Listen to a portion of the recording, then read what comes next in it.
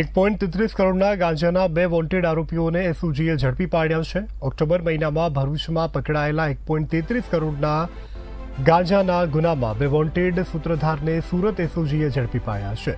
પૂછપરછ પણ હાથ ધરવામાં આવી છે. અત્યંત ચોંકાવનારી હકીકતો પોલીસને જાણવા મળી છે.